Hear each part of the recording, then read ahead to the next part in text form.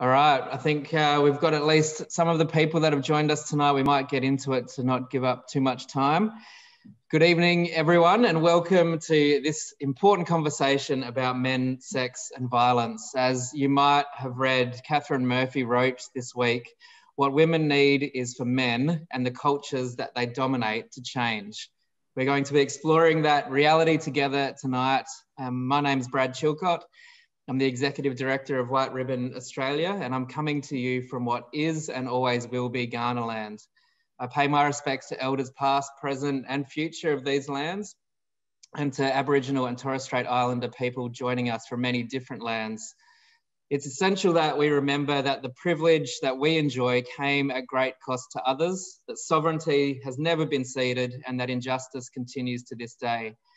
And as we're talking about issues of, of violence and sexual abuse, sexual harassment, we know that First Peoples are disproportionately impacted by these issues. And so we collectively commit to walking with Aboriginal and Torres Strait Islander people in a spirit of harmony towards a future where all people have equal opportunity to belong, contribute, and thrive in our society.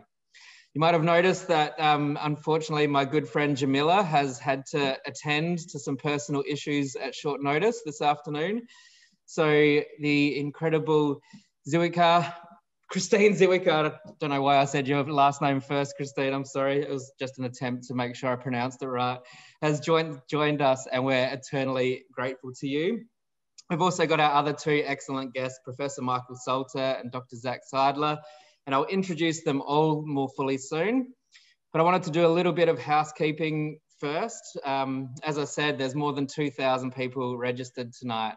Uh, you can see that the chat function is on and um, Alan from White Ribbon Australia will be commenting in there and responding to some of your questions. Afsa and Hannah from Essential are the moderators and they can respond to any of your tech questions if things aren't working. But I do want to say that we will exclude anyone who isn't helping us create a safe space and we won't tolerate any misogyny, racism, homophobia, or transphobia at all. It's also a conversation tonight about eliminating men's violence and sexual abuse. While we know that there are other forms of violence that need to be addressed, that's not what we're talking about tonight. So please respect that Otherwise, we'll need to remove your ability to contribute to the chat.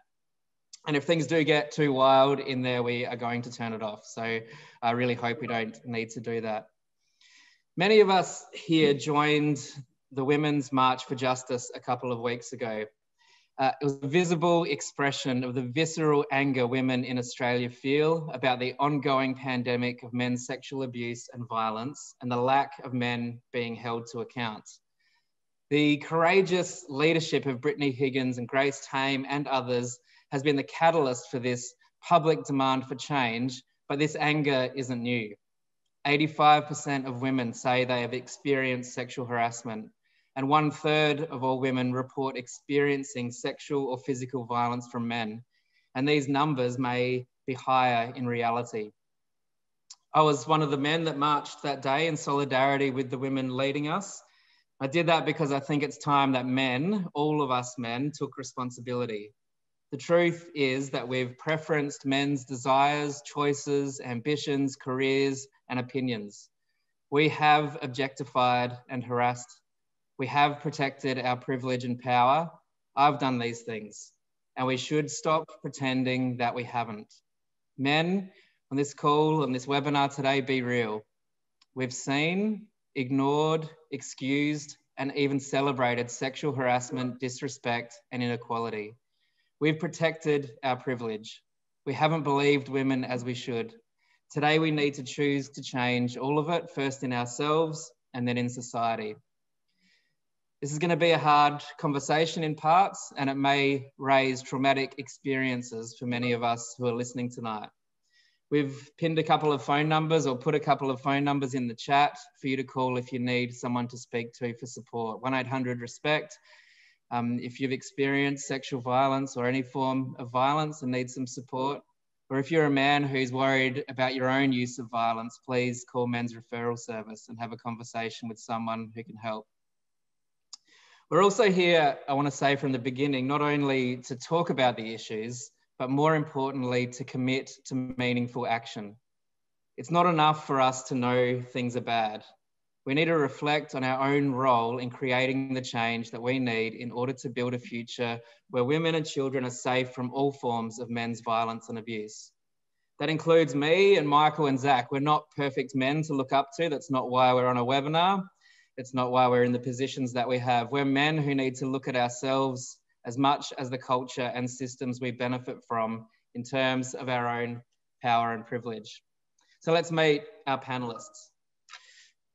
Kristine Ziwica is a freelance writer based in Melbourne. She started her career at Ms. Magazine in New York. She was a 2002 Burns Journalism Fellowship recipient, spending three months in Munich working for a daily paper.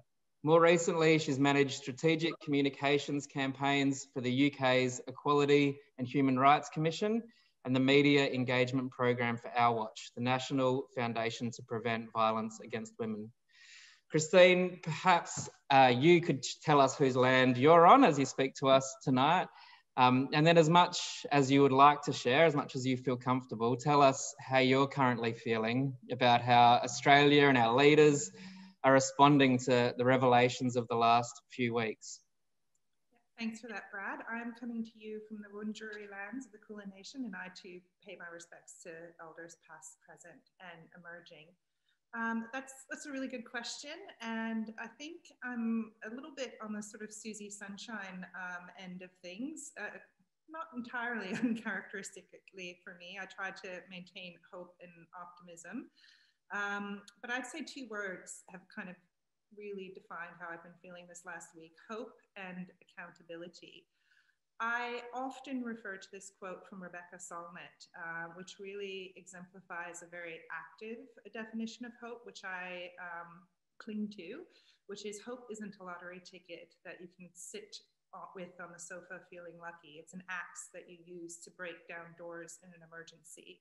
And in my mind, um, that's what we're all collectively doing at the moment. It's an it's a that kind of active act of hope, and that's certainly what um, the survivors who've been speaking publicly have been doing. I'm thinking of Grace Tame, um, of course, Brittany Higgins, uh, the women who spoke out in, you know, arguably the kind of first wave of Me Too uh, in Australia, and the women who've been speaking out on these issues for decades. And I, I think I saw Rosie was um, in this chat. And I certainly want to pay tribute to the work that, that she's done in speaking out and really kind of manifesting that active version of hope as an axe that you use to break down a door in an emergency. It's kind of come to this, and that's where we are. Um, and I also was quite struck by, um, in that same piece that you alluded to in The Guardian earlier that week by uh, Katharine Murphy, she said that Brittany Higgins was um, lifted onto the stage by a kind of convection of hope that came from the crowd. And I certainly felt that at the um, march that I attended in in Melbourne. I, th- I think we feel like we have really reached a turning point. And why have we feel like we've reached a turning point? And that gets to the second um, word about accountability. I feel like we're in a new era of accountability. Um, there's relentless, absolutely relentless focus on these issues now, and there's just no getting away from them. Um, and if you just take the the Australian Human Rights Commission sexual harassment inquiry as an example, um, I I certainly played a lead in kind of contributing to that, and I, I was very cognizant of the time that the uh, Liberal and coalition governments don't have a fantastic track record of um, responding to these inquiries. They shove them in a drawer, they don't respond to them. They never responded to the 2014 pregnancy discrimination inquiry. We now have relentless calls to action to, to implement those 55 recommendations. Um, we've had a commitment from the Prime Minister that there will be a response before the May budget. And I can give you countless other examples on, on different fronts, on different issues in relation to gender equality and violence against women, where I really feel like there is a new era of accountability and we're at a key critical crossroads to move forward. So I think that does give me hope. That's awesome. Thanks, Kristine. Um, there's a few comments there in the in the chat that your audio is still pretty low. So oh, um, sorry. Okay. You can speak up next time. I, I did want to uh, when we talked earlier today, you mentioned that um, the Prime Minister was on Ray Hadley. And um, although there's a lot of uh, hope going around, as you said, and the movement that we've seen uh, start over the last few weeks shows no sign of abating, um, we also had the, the Prime Minister on Ray Hadley kind of saying men don't always get it right. And, uh, and what are your reflections on that and how, how our leaders are kind of responding to this moment? Oh gosh, obviously that was extremely disappointing. And um, I think I said on social media, it just reminded me of it was very 90s. Um, this kind of like men are from Mars, women are from Venus. We live on different planets. We can't possibly understand each other, and that's an excuse for getting it wrong. And that really is an impediment to us having this conversation, this kind of false belief that as as different genders we're somehow incapable of kind of understanding what what we're talking about. I think as many people have said this is a human issue.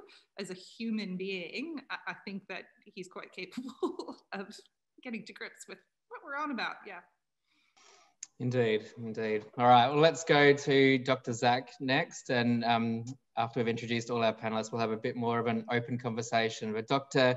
Zac Seidler is a clinical psychologist. He's the Director of Mental Health Training at Movember and a research fellow with Orygen at the University of Melbourne. Zac's devoted several years to the goal of reducing the staggering male suicide rate, treating and researching men's mental health with over 30 peer-reviewed articles published. Zac has worked clinically with men of different ages and presentations, from adolescents in Darwin with early psychosis to older HIV positive men struggling with adjustment. Zac's appeared on the ABC, BBC, Sky News, and in The Guardian, The Age, and Vice. Really, anyone who'll, who'll take him. He was on The Current Affair last week. Uh, and people love to chat to Zac. Uh, Zac, I want to ask you it's been said a lot um, on my social media feed and in numerous uh, interviews that I've seen that while we all know a woman who has been harassed, if not abused by a man, not many of us know a man who admits to being a harasser or a violent abuser. So I'd love to hear your reflections as someone who spends a lot of time speaking with men about their attitudes, their opinions, their feelings and relationships. How do you think men are responding to this current public conversation? Is there any sense of men taking more responsibility out there at all? Huge question. Um, and thank you for having me and it's great to be here and i don't do just anything this is this is a special event um, and it's great to be here with with everyone better than a current affair even i would say um, and uh, I, I want to just start by by again uh, as well as kristine saying so um, say thank you to all of the the women in the audience and men who are, who are survivors um, and, and profess from the outset that I will potentially, um, you know, make some generalizations. That's not my intention. And um, I, I, really respect your bravery um, and your courage. Uh, and, and hopefully this is the beginning of a huge shift in our society. Um, so you are right. My new Twitter handle is going to be Man Whisperer. That's that's my day to day, and uh, I'm, I'm kind of disheartened, uh, really, with the uh, the way that our leadership has been dealing with this um, whole tidal wave, and I would say that I'm I'm kind of disheartened with the way that that men have been dealing with it. Um, it's really nice to be doing this in front of an audience uh, because Brad, Michael, and I have had a couple of meals where you'd be very worried listening listening in if if you didn't know who we were. Uh, talking about suicide, child sexual abuse, domestic violence, but that's kind of the issue here because um, that's my first point around responsibility. What is going on right now has been rife in this country for, for generations and the world over, really. Um, and it is fundamentally a men's issue. It is fundamentally a responsibility of us as men and the women who have the energy to continue the fight. Um, that means uh, you know that it shouldn't be so unusual to see three grown men sitting in a restaurant discussing their, their experiences about violence their their understanding of uh, you know their own mental struggles and how they've had to overcome certain things. Uh, but it is very strange, um, and I think that that says a lot about the moment that we're in, which is that uh, the silence is is deafening. Uh, and you know, it took how long for Scott Morrison to come forward and make a uh, you know a statement about this stuff that, that had any semblance of, of empathy in it. Um, probably not enough uh, for many women out there to start with. But you know, it, it took him a while. And I would say that the responsibility uh, that has been on men's shoulders for a very long time and is now coming to the fore has really, um, you know, the way that men have, have led has been uh, lacking substance and timing and tone. um, and, and that is something that needs to change. But if, if you're to think about men and masculinity in the current moment, our media and public discourse will really tell you that it's in crisis. It will tell you, you know, that it's toxic. And these blanket statements are, are isolating many men, to be honest with you. And that's, that's what I'm finding on the ground. And um, I understand uh, why it is isolating, um, but the, the fundamentals of masculinity are, are striving for self betterment, uh, are pushing oneself, um, you know, to find a way to, to, to, belong and look after others and provide and protect. Uh, what is happening right now is not masculinity, um, it's depravity, really. And um, you know, we need as men to pull up our sleeves and, and we need to be allies. And so what we need to do is us men who are leaders in the field, who work in this space, need to clearly articulate what men need to do, not what men shouldn't do. There's been so much discourse about all of the bad things that men are doing, which needs to happen, but we need an equal narrative here, which says all of the things that, that should be looked up to, that are authentic, genuine, and meaningful and useful as depictions of masculinity. Um, the vacuum that has been filled with Weinstein and Trump and you know shit guys really needs to needs to be filled with positive role models um, that uh, rewrite this narrative around what masculinity and manhood looks like you know, we need to provide a doctrine, a mantra for how to be a man in this day and age. And working with teenage guys, I can tell you they have no bloody idea what's going on. Um, they're scared and they are, they feel like everything is gray. When to us, hopefully as adults, consent and, and violence and sexual assault is uh, is black and white. And um, we need to open a space to allow them to question this stuff to understand uh, that it's okay to ask before they're in crisis, before shit has hit the fan, really, and um, you know take it upon themselves uh, to take that responsibility to go. All right, I am a part of this dialogue, and I am also a part of this behavior. I'm a part of uh, you know whether it's a man or a woman that I'm in, you know, a, a relationship with. I, I have responsibility for my own actions that, that it cannot just be placed on them to deal with the aftermath really.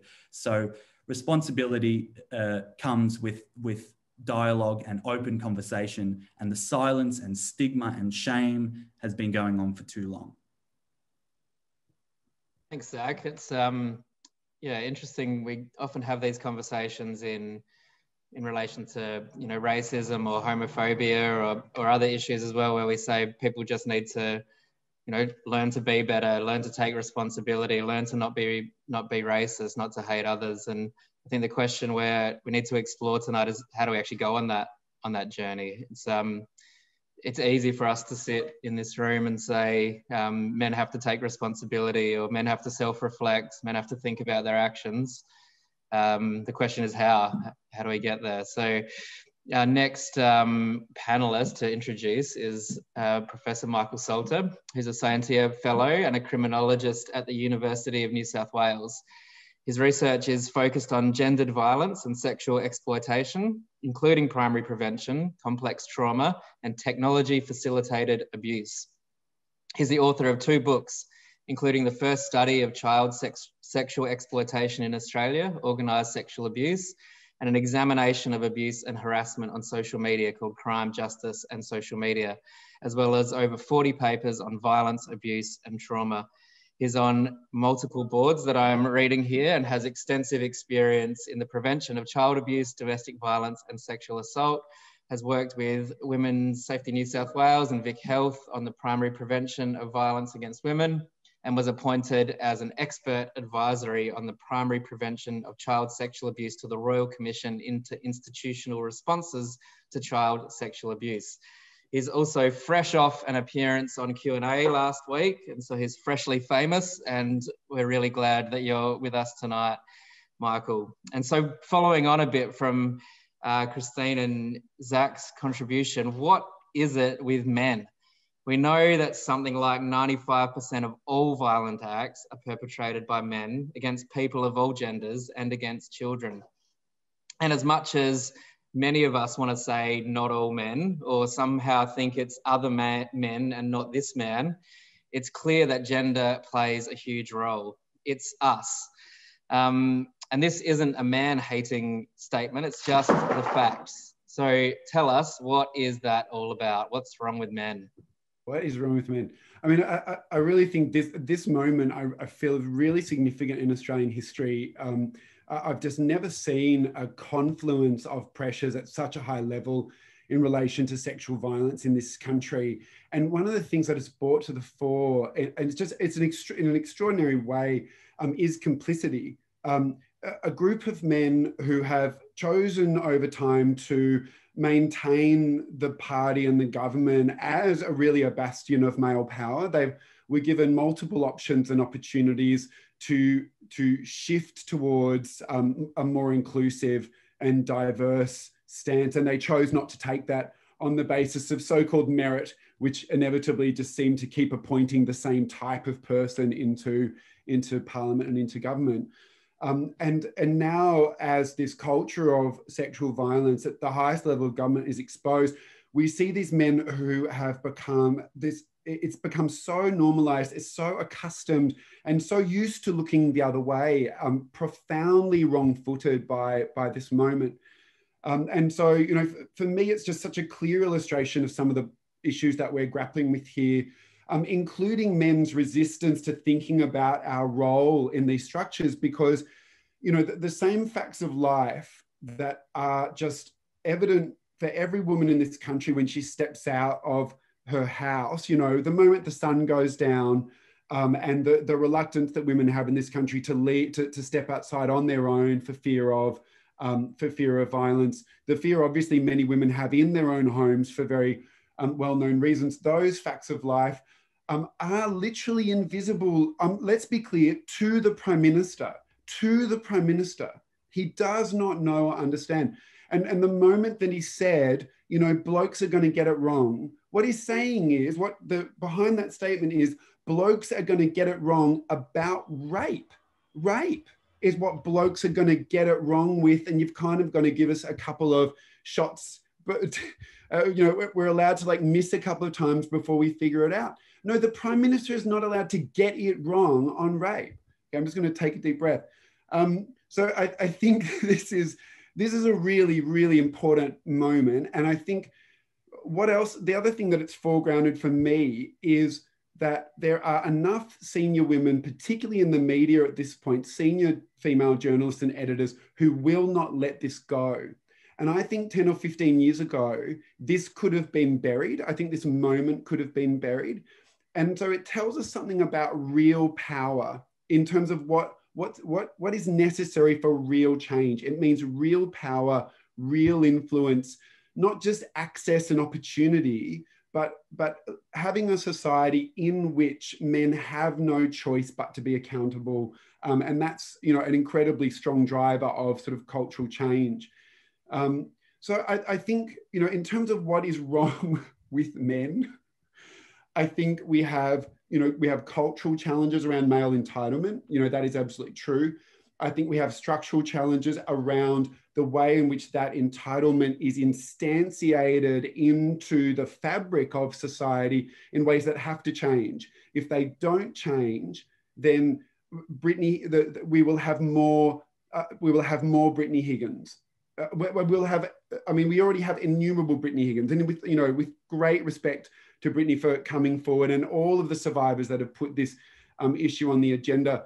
Uh, in terms of sort of the men's work here, I'm, I'm a long-standing sort of critic of symbolic gestures around this. I think there is work to do. And I think we see that work now in front of us in terms of the changing of structures. That is very practical work that we need to commit ourselves to um, and to implement and to operationalize. That's step by step work. It's not mysterious. It's not symbolic. It's it's right there in front of us. I mean, I think for some of the men in the field and in the sector, I think there's more work to do about unpacking the experience of men and boys in the context of gender inequality, and really starting to think about how we do engage men and boys through their experience. I think the emotional aspect of gender inequality for men and boys is poorly understood.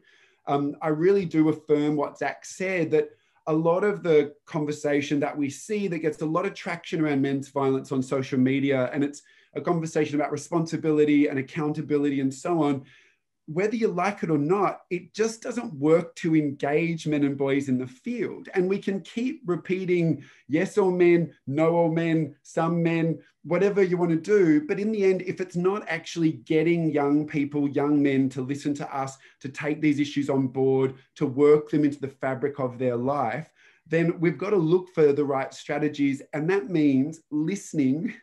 It's not rocket science, but listening to, to boys and men taking their perspective seriously, that doesn't mean accepting excuses for the status quo. So there is a fine line there. Yeah, thanks, Michael. I, I'd, Kristine, I'd love to you to reflect on on Zac and Michael, what they what they've said from the men's perspective. Have you got any any thoughts about their reflections on on men and uh, the role of men in, I guess, addressing the challenges that we have today? Yeah, I, I, jotted down a few things. Um, well, firstly, this, in the 20 years that I have been, um, you know, an advocate and a journalist working in this space, um, this is the first time that I've been the only woman on a panel about this issue. So that is that's something. Um, and is that a good something or a, a good something? Interesting. Yeah. yeah. Um, you know, the people who need to be having these conversations and more than words, but deeds, and talking about what those deeds are, are having these conversations. So that's saying something to me. Um, that's that's positive. Um, first time it's happened to me in 20 years. So um, I think uh, a, a, couple of things that um, I think it was Zac who said we need to clearly articulate what men should do and not what men shouldn't do. That really kind of resonated with me. Um, and also the, the, the point, just getting back to that point that Michael made about the, the tipping point in the media and there being um, women in the media who really won't let this go. Um, obviously, you can hear from my accent that I'm originally from the US and mm. I've been in the UK for seven years.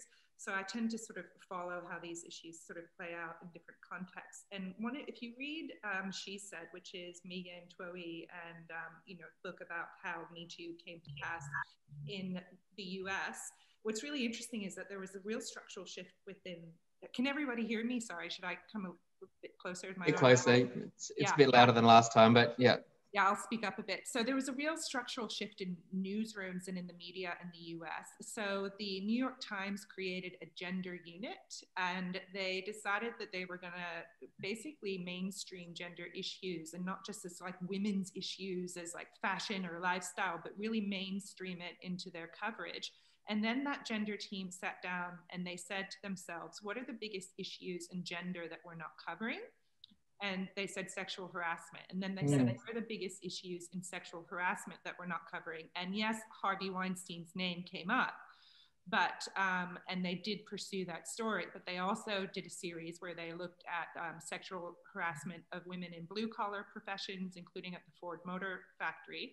So that was a real structural shift within the media where the media was really saying we're going to give these issues a higher priority. We're going to you know pursue them relentlessly. And i think michael's right. We have seen a tipping point of sort of senior women in the media. And i know that there's this meme or this mug that's going around at the moment that laura tingle all hail the queen yeah. um, is not having it. Um, but she's not the only one. There's lots who just aren't having it anymore. And i think that that's going to um, continue to be the case. When I when I first started writing about these issues in the Australian context just three years ago, I'd say it was a very different story, and I was hearing from a lot of people in the press gallery.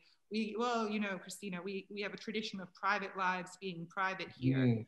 and I think that there's a sort of cohort of women in the media now who have just called bullshit on that basically, and just will not let that status quo private like sexual harassment sexual abuse is not a private lives matter. It's it's a it's a harm. It's it's an abuse of power. And they will call it out. Yeah. Indeed. Um, we spoke, I guess um, Zac and Michael both spoke about how we, you know, take men on a journey to get to a place where there is no sexual harassment, no sexual violence um, or violence in general. And I'm sure some of you on, on the webinar have seen the, the semi-famous memes going around that kind of flip the, the victim blaming tropes on their head and say 10, 10 ways to not rape and then say to men, you know, carry a, a whistle to blow if you might rape someone or, um, you know, not go out, uh, not go out alone um, if you're feeling rapey and, you know, quite simply um, to not rape. And, and it seems like a simple conclusion how do we stop men being violent and um, sexually abusive? Well men just stop doing that.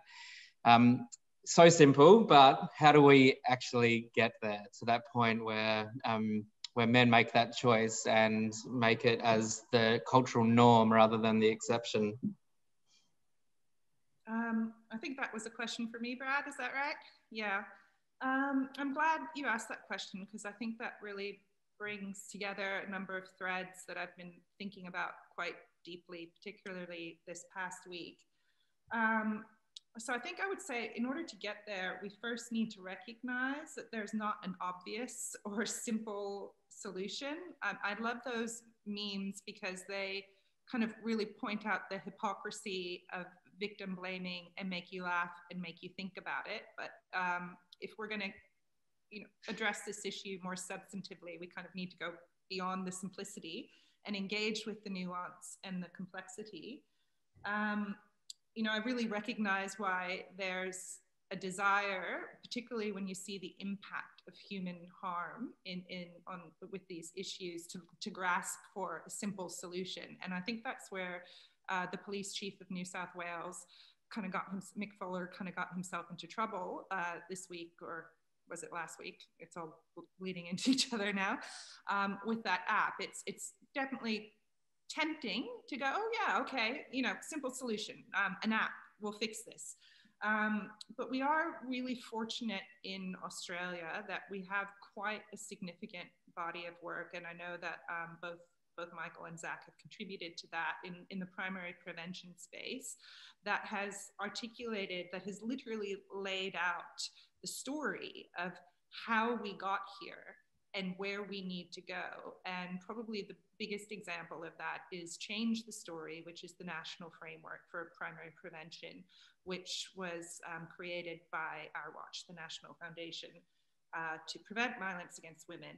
And that really sets out the work that we need to do. And Michael talked about, or maybe it was Zac, about how we need to stop telling men what not to do and start really articulating to them very clearly what to do. And I think that there are a lot of really clear um, messages in that document and other primary prevention work.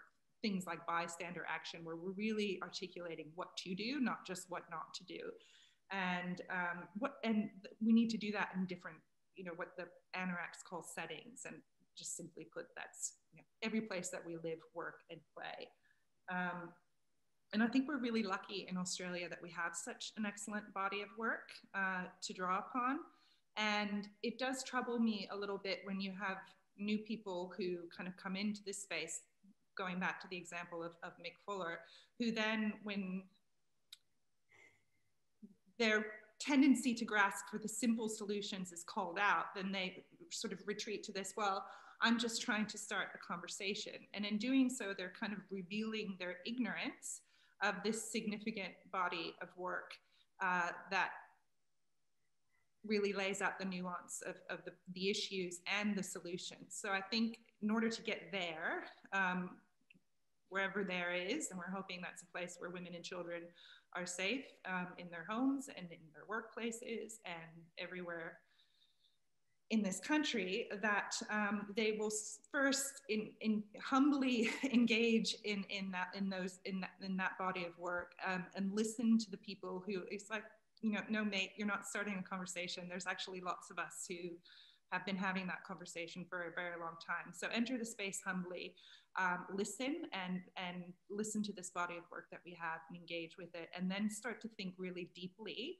about what you individually can do and what you can collectively do in the communities that you live in, the, your workplaces, to start to act on some of those recommendations.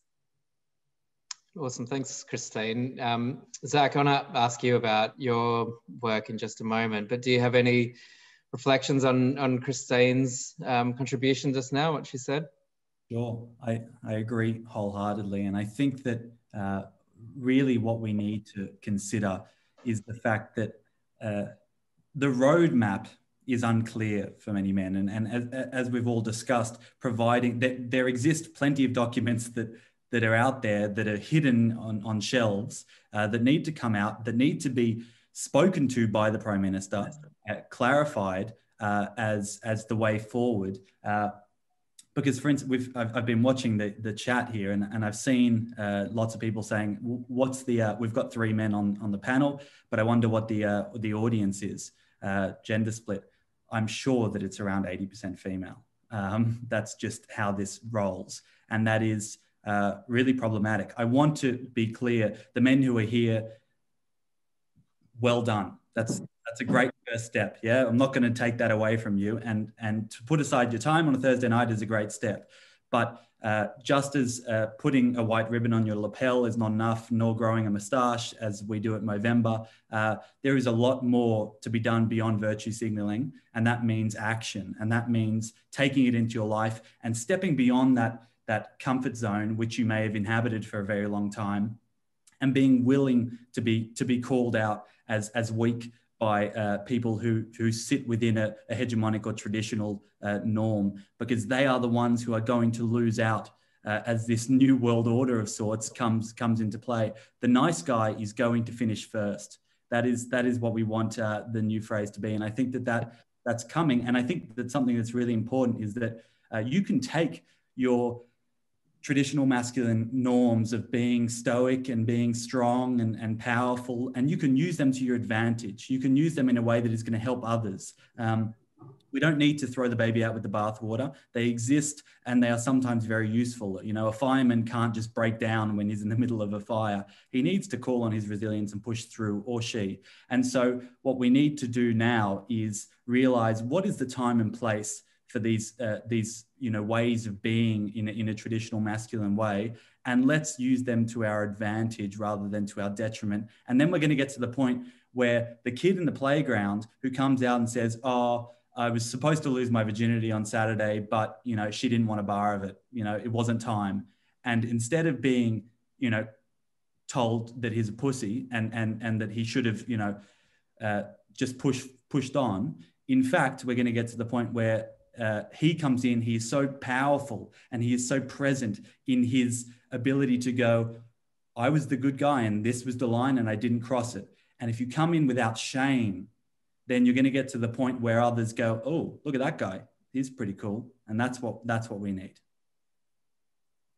Awesome. I wanted to ask you, Zac, about um, men's mental health, which is where you spend a lot of your time and energy with Movember and personal practice. Um, on one level, and we, we hear this sometimes in the way the media reports situations and um, in conversation, at one level, it seems like a cop out to say that men are violent or sexually abusive due to their poor mental health. But I've heard you say in one of those uh, dinners that we have discussed earlier that mentally healthy men wouldn't use violence or coercion in their relationships. So, talk to us about that for a minute. Is it our understanding of mental health that needs to change, or is it that mental ill health exacerbates men's dependency on the validation we get from being in control and having power over others. Talk to us about that. I feel like it's a cop out, but I'm going to say both because it's it's a complex situation, and I'll I'll won't be doing my due diligence if I don't uh, explain that. So first and foremost, the mental health system we all know is broken. It needs to be shattered and started again. Uh, the Victorian, uh, you know, uh, Royal Commission is making that clear, and they're going to do that hopefully, and hopefully you know, Prime Minister Morrison will listen uh, to, to what we've learned in Victoria and do things uh, differently throughout the country. What that means, though, from my perspective and my own work, is that uh, the mental health system is failing men uh, fundamentally because it is not picking up on their distress. And it should not be on men to present distress that fits within a box for it to be understood.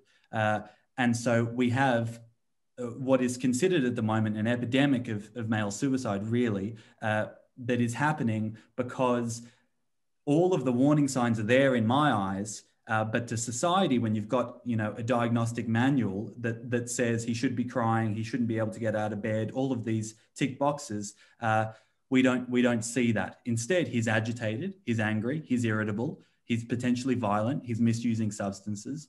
Um, all of those symptoms are considered men behaving badly.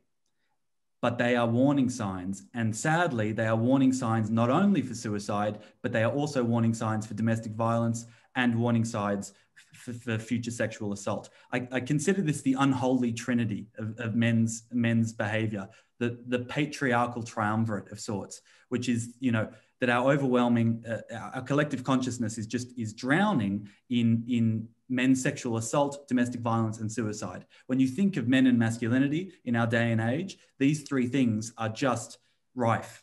And we don't have a, a, a dual dialogue that is going on, as I said, uh, which is talking about healthy, positive, strong, useful uh, ma- masculinity instead. Men harming themselves and men harming others are two sides of the same coin. Fundamentally, they are two sides and they are inextricably linked.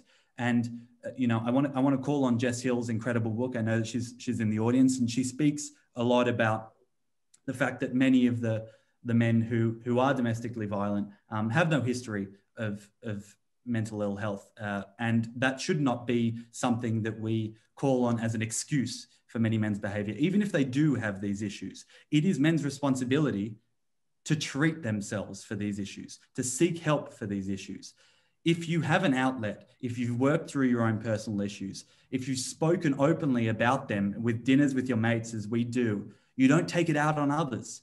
You know, that's the fundamental truth. I've, I've witnessed people with serious trauma doing the hard yards to overcome it, and, and they find healthy, resilient ways to cope. It's not easy. Yeah, we, we can't suggest that it is. But I would not be a psychologist. I would be a failed psychologist if I did not believe in rehabilitation and I did not believe uh, that there is a, a, wave of distress that is going on that needs to be tapped into and heard uh, amongst our male population. Um, so I think that the system needs to be able to better catch these guys early, especially as teenagers when they are doing, you know, reckless, dumb, risk-taking shit that need that, that we can see, and we just go, "Oh, it's boys being boys." It's not. It's a cry for help, and it's something that we can pick up on much earlier. Um, I'm sick of being in therapy and having a, a mum or, a, or a wife rock up in, in place of the man and try to work out strategies to deal with his distress. It is not their responsibility. The men need to front up and deal with this stuff and nip it in the bud early. And that is what Movember is all about. It's about early intervention and prevention. And that's what all of us should be hoping for here, which is that when you see something small, we need to get onto it early. Um, Kristine, how do you respond to, to that idea? I've seen mixed um, responses in the in the chat popping up. Um, some people saying still sounds like an excuse there, Zac. Others saying, yeah, you're right, right on the money. Um, what do you think, Kristine? Um, I'm just thinking about uh, you, you, alluded to Jess's book, and um, hi, Jess. yeah, I think Jess had a lot of really powerful things to say about the role that um, masculinity and mental health plays in, in this, this whole mix when she talked about the concepts of humiliated fury and she talked about shame. And um, I think that that really resonated with me, and it sounds like it, it resonated with you as well, Zac. Yeah. Yep, very much so. And I, yeah. I we need to look at our kind of contemporary environment to see examples of that um, in, in, in full display and um, some of what we can kind of call the more toxically masculine um, behaviors that we've seen from some of our leaders, including, you know, the, I wrote a piece that um, the bunker boy incident of um, Donald Trump sending out the National Guard to essentially clear the square so he could march across and then um, photograph himself with the Bible was a real kind of lucid example of humiliated mm. fury in action. Um, because you know he was called Bunker Boy and then felt this need was compelled to feel this need to sort of prove his uh, masculinity. When you watch that kind of now infamous exchange with Scott Morrison and um, Andrew from Sky News, uh, arguably that would kind of fit into this uh, category as well because he was really kind of put on the spot saying you've lost control haven't you? And it is about that. He, he got to the very heart of that issue. You you you should be in control. And then um, scott morrison reacted with that kind of unscripted and very uh, problematic response where he then outed a supposed experience or rumor he had heard about a sexual harassment claim at Sky, but that was very much kind of in response to his desire, his humiliated fury, his his entitlement to control being publicly called out in in the forum, and that's that's how he responded. So we see so many examples of this in in action, um, but I, I think it's also very important to remember that it's never an excuse um, for violence and that it um, exacerbates the violence. It's a contributing factor. But what the evidence does show us is that at its heart, um, various manifestations of gender inequality are the key drivers. So we do really need to focus a lot of effort on, on those issues. Thanks, Kristine. Um, Michael, we'll go to you. You might want to comment on on uh, Zac and Kristine's uh, comments just there, but I but also wanted to throw into the mix something that is often um, we can use the word excuse again sometimes. Uh, you spoke on Q and A about the influence of pornography on young men and women's expectations around sex and the prevalence of dominance and control and violence in what is often in popular pornography. And it becomes you know kind of expected or normalized sexual activity for young people. And so i'm interested in your thoughts on how significant that is to the experience of women over recent decades especially considering that um, you know sexual abuse sexual violence isn't new that's been going on forever um, and the but the prevalence of this kind of pornography is relatively new. Um, and although that's new, the phenomenon of violence isn't new, if that makes sense. So, what is the actual role of pornography? Is it another way of pushing away our responsibility to be decent, respectful men? Yeah, great. I, I mean, to, to, to, touch on the issues raised by um, Kristine and Zac, uh, you know, a, a, real, for me and my thinking around these issues, um, you know, some years ago, it sort of struck me and I just thought, you know, like no five-year-old boy if you ask a five-year if you if you caught a domestic violence offender at 30 and you asked him at five years of age okay this is my hypothesis you know what do you want to be when you grow up? He was never he, no five-year-old boy is going to say oh i want to you know i want to beat the people that i care about the most. I want i want my kids to be afraid of me you know i want my relationships to fall apart because i can't um, because of my violence and aggression. That, that's nothing that anyone is born with. It's nothing that they aspire to. And, and I think it's important to acknowledge that where perpetrators are using violence and abuse, something has gone wrong for them. Something's gone wrong for them. Whatever we want to label it or whatever we want to call it, something's gone wrong for them. And we talk about gender inequality, sure, but how does it get its hooks into boys and men? I mean, this is the crucial question. We can point at all of the social and the economic and the legal facts about gender inequality, but ultimately it takes up purchase in the minds and hearts of boys and men. How does it get in there? How, and, and what keeps it there? What makes it so appealing? And so it's why I am really interested in some of the psychological perspectives that Zac is putting forward. I do not think that looking at men's mental health or looking at men's alcohol and drug abuse, which is appalling and extremely prevalent. I don't think that looking at men's emotional problems is in some way distinct from a conversation about gender inequality. This is what gender inequality is. This is the substance of it in the lives of boys and men. So I think often we sort of play off this binary where there's sort of the social fact of gender inequality. And if we acknowledge that, then we can't talk about the more individual lived experience of it. Um, we often, you know, you often hear this conversation, oh, that's an excuse. It's just how it's it's literally what gender inequality, it's part of what it's made up out of. Um, and I am really worried about this tendency to sideline that because I think that's how it gets its hooks into boys and men, basically. Um, so the, the, the porn question is a really important one. It's a really vexed one.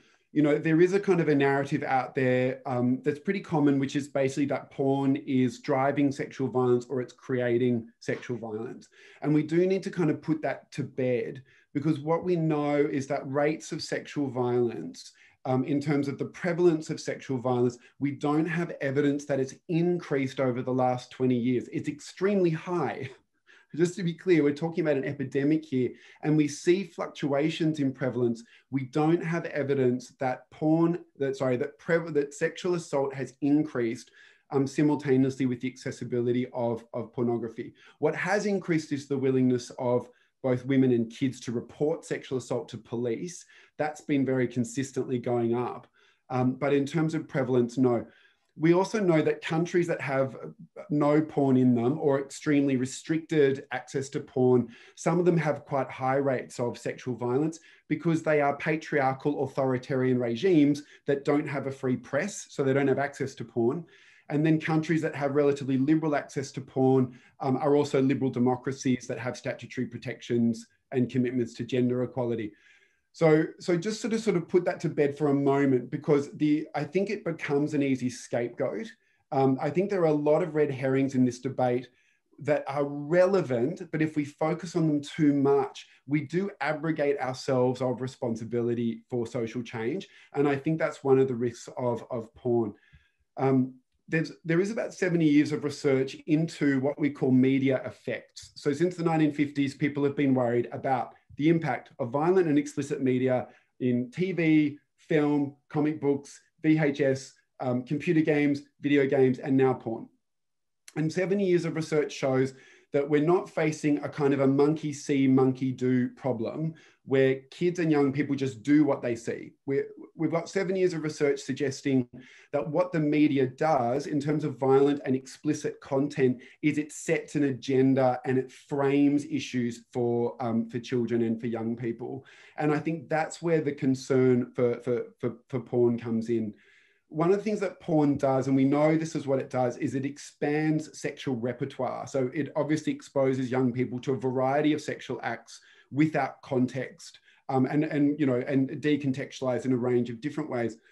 Now, uh, there might be some trends there that we might think are, I don't know, beneficial. So for example, mutual oral sex in heterosexual relations is now much more common than it was 30 years ago that's probably partly or wholly because of the normalization of oral sex in porn. Okay, so that's that's one way in which porn's potentially expanded sexual repertoire for young people and and um, for, and and adults in heterosexual relations. There are other aspects of porn influenced sexual practice that women are consistently flagging is a problem that they are being asked to perform, or, or in some cases, coerced or forced to perform acts that a male partner has seen in the context of pornography. Now, one of the things that violent explicit media does, particularly for boys and men who have pre existing risks around aggression and violence, is it does affirm those impulses and it does amplify those impulses. And I think that's, I think that's where we're seeing some of the acute harms of, of porn um, is boys and young men with, uh, with a repertoire of sexual practice that's become quite harmful. But I think more broadly, what we've seen is in a culture where sexual coercion is already quite normalized, um, we've got boys and young men who are kind of armed with this sexual repertoire um, that is making girls and women, and we see this very consistently in research. Yes, we're, we're also hearing it just in our interpersonal lives, but we see it clearly in research girls and women saying, I'm being asked or coerced or harassed into acts that I wouldn't choose if, if I felt like I could say no, basically.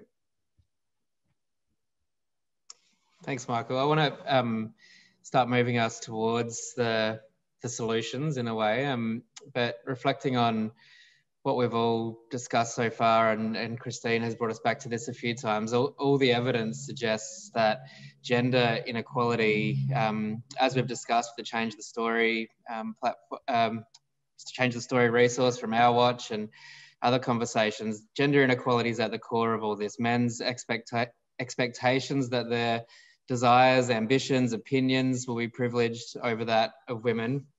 So I guess, um, Kristine, I'd love you to reflect on what we've discussed about mental health and, and pornography and other factors like alcohol and drugs. Um, but really to come to some kind of um, way forward, what are the solutions then? Um, I just want to reflect that I think Michael's point about um, men's mental come forward a little bit if um, you men's mental health being sort of inextricably linked to this and the way that he articulated it is, is a really powerful point. It is the lived experience of how the sort of patriarchy manifests itself gets its hooks into men and that's that's the result of it. And also you know we have much higher suicide rates amongst men lower rates of help seeking. So it is the way that these gender stereotypes this gender inequality gets its hooks into men manifests itself and causes human harm for men. So that is oh, the way that it's inextricably linked and it's really important to reflect on that. Um, i think that's very important.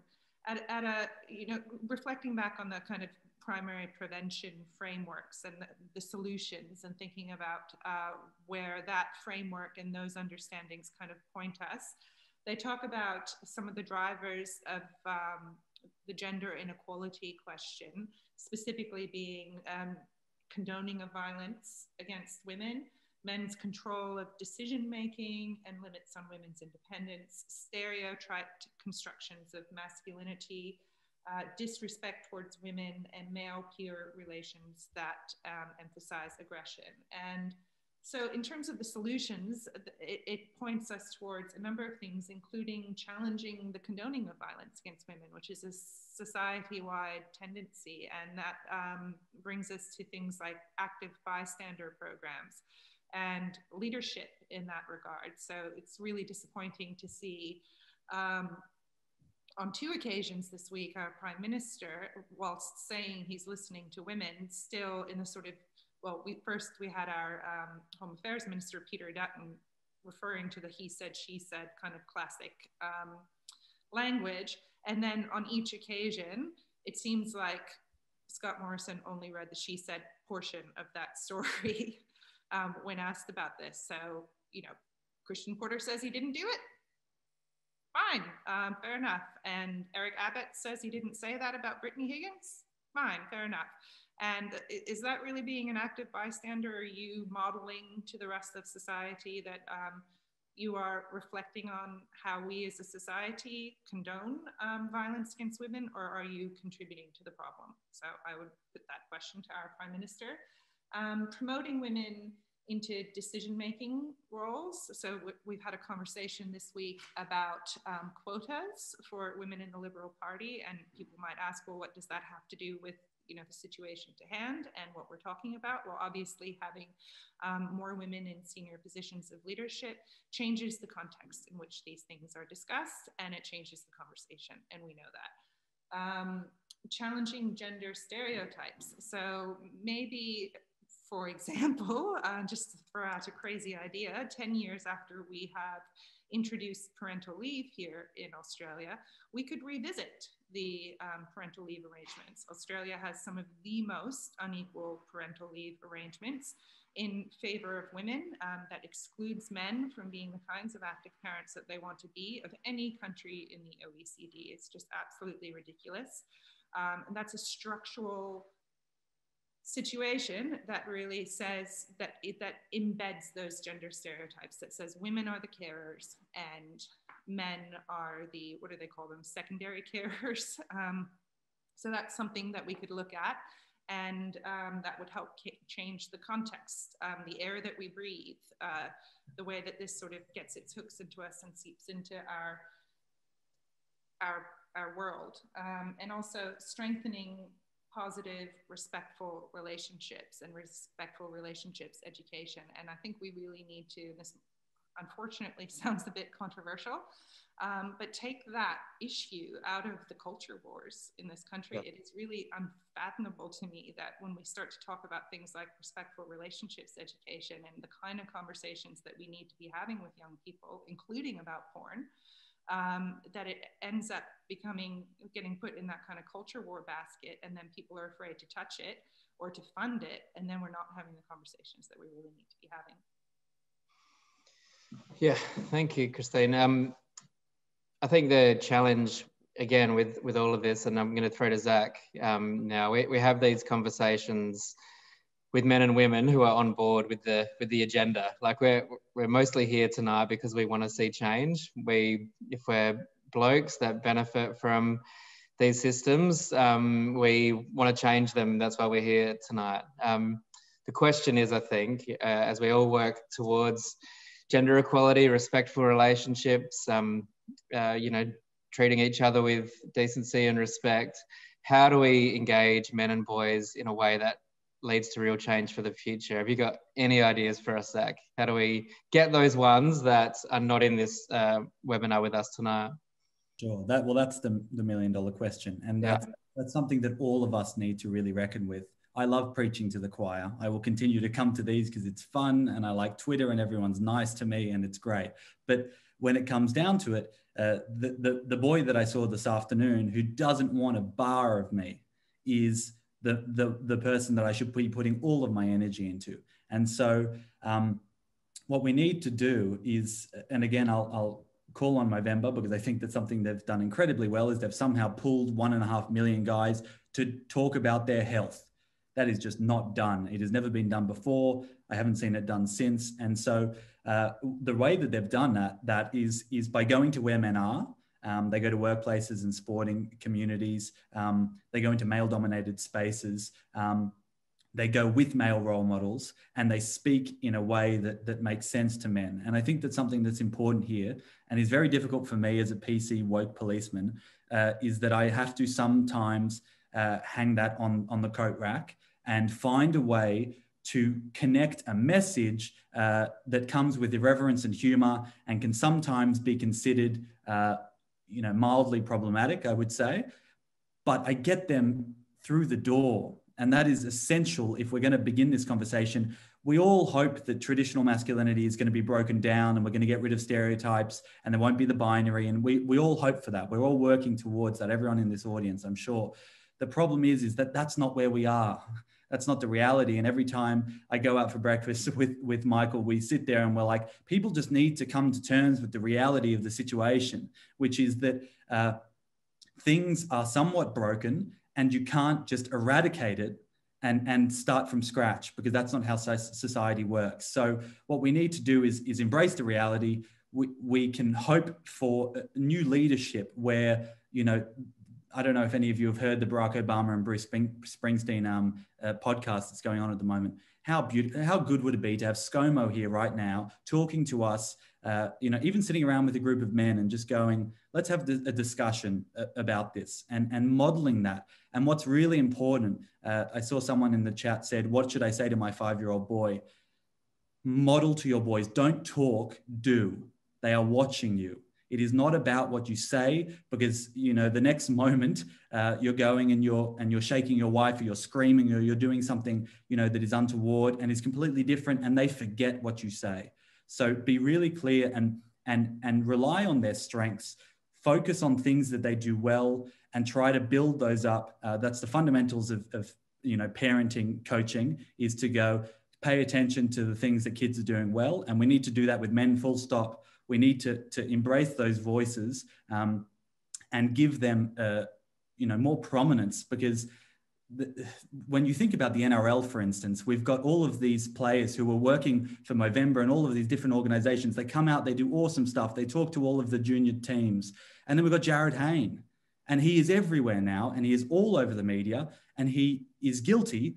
And that's what they see and, and that is what the, the, the now the, the manifestation of masculinity in this current moment is Jarryd Hayne as a guilty sex offender. And so what we need to do is is find a way uh, to get rid of those those men out of positions of power bring in good role models um, and more women obviously um, to, to, just dampen that that, that whole uh, you know problem full stop and speak to men on their level and, and, and that's really what's what's very important here is to leverage that desire for self-betterment um, be funny, try find ways to get them in the door, and then offer them that that key that they can take away with them once they trust you. Because trust and shame go hand in hand, and and we've got all of this this fear of of trusting others and of talking about this stuff.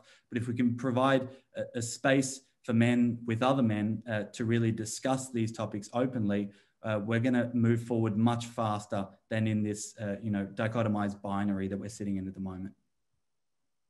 Yeah, thanks, Zac. You touched on um, children a lot there, especially seeing seeing role models and growing up in a society where there's, um, you know, better expressions of masculinity in, in the media and also in, in their lives. Um, and we've seen a lot in the last few weeks, uh, especially around some revelations around private schools and, and girls' experiences. We've seen a lot of conversation about schools being the solution. And um, actually, at White Ribbon, we are constantly told you just need to get into schools, and the younger the children, the better, and um, and etc. And of course, everyone um, wants you know schools to teach consent and schools to teach respectful relationships. Um, but Michael, I'm going to throw to you. How how significant do you think that is in terms of the broader solution? And and especially, I'm thinking about consent education. Surely men already have a sense that non-consensual sexual activity or rape is not okay, and yet they do it anyways. Is articulating that better at school the solution as part of a broader respectful relationships conversation? Yeah, so I mean, I think it's a little bit like the um, the issue with porn, which is this is this is part of the mix, it's part of the equation, but the issue becomes the myopic focus on it. Um, and you know, when I was um, when I was on Q and A last Thursday, and um, Briony Scott was on the panel with me, who's um, the principal of um, Wenona Girls' School, it's a private girls' school up here in Sydney, and you know, we were having a conversation backstage, and she just said to me, you know the, the, the onus is not on children to enact social change.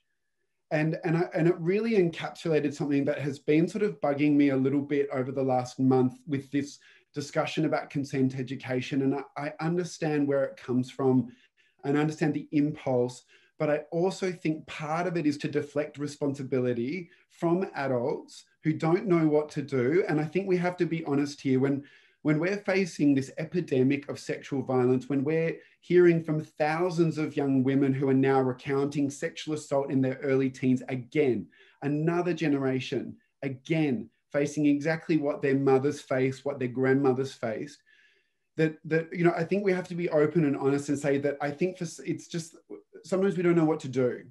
And that consent education kind of looks like this shiny new thing that we can say it's that. But but putting all of the onus on it essentially what we're saying is oh well 13 year old boys are going to solve this problem. 13 year old boys need to change. No Uh, we are the adults in the room and this is what Briony said to me so i'm going to say to you. We we are the adults. We make the decisions actually and the responsibility is ours. So you know yes uh, of course we need consent we need we need sex education in schools for a range of reasons you know, not only in order to give kids the foundation they need for good relationships, but also to protect them from sexual assault so that they've got an understanding of what can be done to their bodies. So I think I, I think that's important. But I think consistently we have to challenge our own impulse to take the responsibility and to put it somewhere else, basically. I think there are some really interesting opportunities here, intervention points here for us as adults. I think one of them is fatherhood, and particularly a man's first child. This is a point where I think a lot of men, regardless of what's been going on in their life, it's, it's, a, it's a point of um, flux for a lot of men where a lot of things are up in the air. Um, often their own shitty childhoods start coming up, you know, their own bad, they, you know, their dads weren't great. They don't know how to parent. They feel entitled to their wife. All of a sudden, they're not getting sex three times a week. You know, we know that um, all of a sudden the child or the pregnancy is taking all the attention of the partner and we have these guys who get jealous of the baby we know that this is a time where a lot of things come up for, for, for, for men we know it's a, a, key risk area for the initiation of dv if dv hasn't been taking place in that relationship but what if first fatherhood's an opportunity what if it's actually a chance to get in there with a guy and actually say you know this is how we do it You know, this is what fatherhood looks like. This is how you can be a good dad. And there's actually research going back decades that shows that when men are supported in their parenting in early infancy, so they take responsibility in early infant care. So, you know, changing nappies, feeding, nighttime, all of that stuff, when they're supported to actually take, be proud of doing that work, not only might it reduce domestic violence, but in my area of work, it, it's also been shown to reduce child sexual abuse. Um, simply having a man who is involved in infant care is really, really healthy for that family. And I suspect really reparative for a man who might have quite poor role models. Maybe he becomes the dad he never was. So I think there's a real opportunity there. And I'd like to see more constructive discussion about engaging men at first fatherhood. I think the other point, you know, I sort of found this conversation about teenage boys over the last month quite kind of triggering. I mean, I don't know if anyone else remembers their early teens but it's awful when you're a boy. It's really bad. It's a really hostile environment. I mean, a lot of teen male peer cultures are really hostile, really violent. The number of physical assaults that teenage boys endure and perpetrate on a weekly basis is astonishing and it's completely normalized. And misogyny becomes a, an amazing defense mechanism because it protects you from any suspicion or any hostility um, it gives you like a ready-made brotherhood with your other misogynist friends. And then you've all got this kind of shared enemy or shared opposite in girls and women who you see and treat like complete aliens or objects.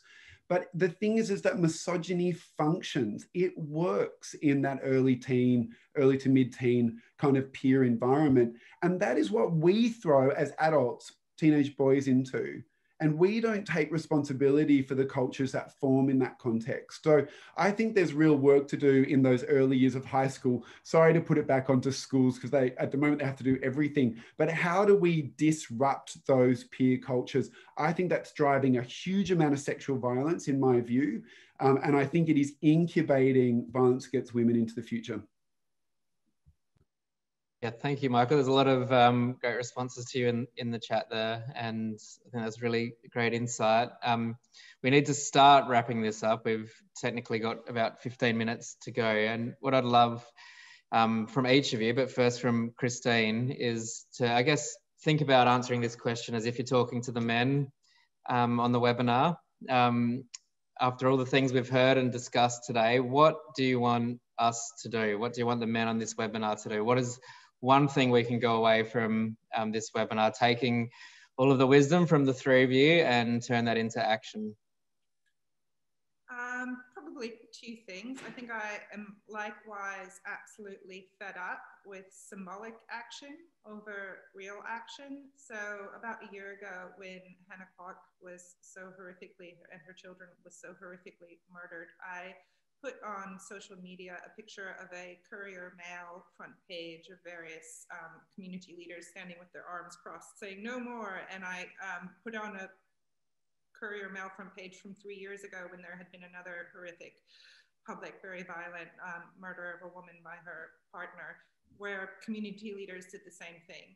And here we were three years later with that symbolic gesture of everyone saying no more and in the exact same place. So i'm heartened by conversations like this where we talk about deeds, not words, um, action and not symbols. And that is the place that we, we need to move towards.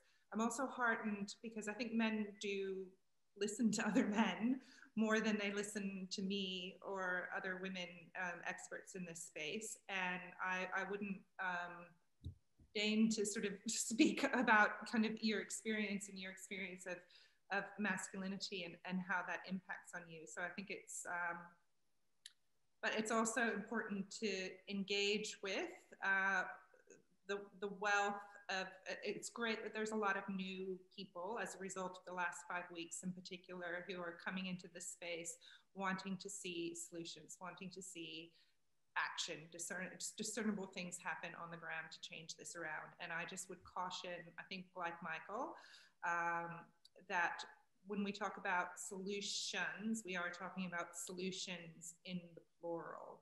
And that there's not going to be a simple solution, it's a complex problem. And we're going to really have to think deeply about this um, and we've had we're working on our fifth national action plan to reduce violence against women. If, if four previous action plans and significant amounts of funding haven't um, quite cracked the issue, contribute to the conversation as to why um, and where is it that we need to go now. Awesome. Thank you, Kristine. Zac, tell us, men, what do we need to do now to be a part of the change?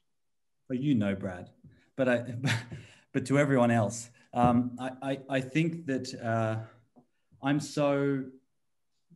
I think the difference uh, between myself, you know, I feel this, I feel this rage and I feel this anger in a, in a very uh, different way, I guess, to the way that the women do, and I also feel such boredom with the way that men are responding here. It's so boring. I'm tired of it. There has to be something new. And surely guys have it within them to just do something differently because it's just not working. And that is like the fundamentals of good leadership, of good fatherhood, of, of you know, being a good employee are are shifting things. You know, we always say that the definition of insanity is doing the same thing over and over, even though you're getting the same. That's what's happening here.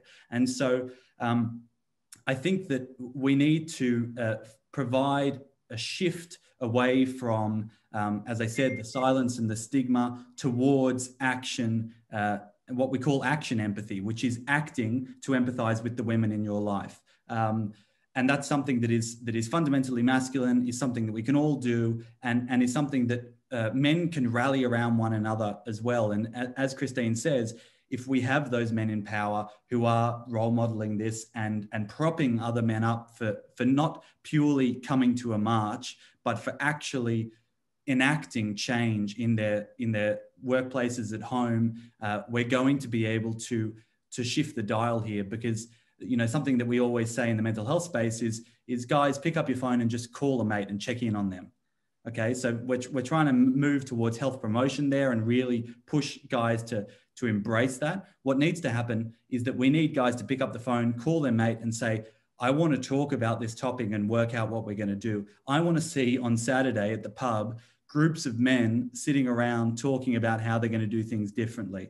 That'd be just the best. And I think that there are ways of going about that. And it's and it's the key here is to separate themselves uh, from seeing themselves as the perpetrator, which I think is what happens very often here. We're, we're, getting a lot of men who are who are shit scared because they're seeing themselves as the perpetrator and they're not empathizing with the victim, and that's what's happening. And uh, what we need to do is go. If you are a man who who has morals and ethics and who has not done any of this stuff, you need to find a way uh, to sit in the shoes of, of the victim and to find ways to actually enact change accordingly. Uh, because, you know, we say that patriarchy is, is an emotional defense and it, it means we have to wrangle with those emotions and sit with the discomfort. And so when I'm sitting with my mates at the pub and they're all getting, you know, biting their nails and don't know how to talk about this stuff until a game comes on and then suddenly they're all verbose we have to find the language and it doesn't matter what the language is at the moment as i said there just has to be the space for these guys uh, to be able to connect with one another about this this stuff and overcome that that discomfort with something that is foreign. It is foreign to many men. We're not taught how to do it, and we need more people to promote how it looks uh, to, to get it done. Fantastic. Michael, one thing every man on this call should do next. Okay, uh, there is so much work to do. There's so much work to do we need accessible childcare. I mean, we're not we're not going to get gender equality without accessible childcare. Frankly, right. like there there is a million things to do, and you know, and the thing about building systems is we don't. the thing about building systems is it takes it, it does, we're not waiting for men to change to give women approval to be safe and well and free from violence when you when you do the work to build the system it doesn't matter whether the men approve of it or not. Like the cultural change is just getting them used to the fact that change has happened.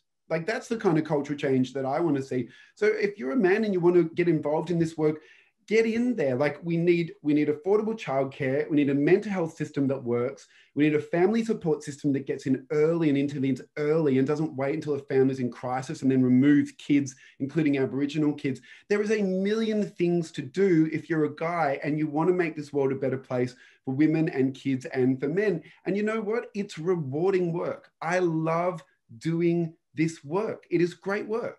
So do it. That's my message Let's add to that. We need a uh, gender statement on every policy and piece of legislation. We need universal paid family violence leave mandated in every workplace. Uh, we need the 55 recommendations of the Human Rights Commission's um, Respect@Work implemented, and men can raise their voice on all of these issues while also at the same time working on uh, how we carry our power and privilege in our personal relationships. So, yes, we can sort our own crap out and we can still advocate for systemic change, as you said, Michael. So, some excellent things to do there. Um, I just wanted to say, as we draw to a close, that White Ribbon Australia in this new chapter is really committed to not simply being aware or raising awareness around sexual harassment and violence, but to engage uh, personally and proactively men and anyone who wants to get involved in working in their community to create change. We have a new program called Community Partners, which is a departure from the Ambassador program. It's for people of any gender who want to reflect on themselves and their role in upholding or undermining, hopefully, the culture that creates the space for sexual harassment and violence to thrive. And then we have a program called Community Action Groups, which is where we gather like minded people in different communities, however you understand community, geographic, faith, multicultural, sporting, occupation, um, to come up with community led, um, unique responses to prevent men's violence and abuse, understanding that while men's violence is not unique to any community, the solutions probably are. And so we'd love you to get involved in those programs.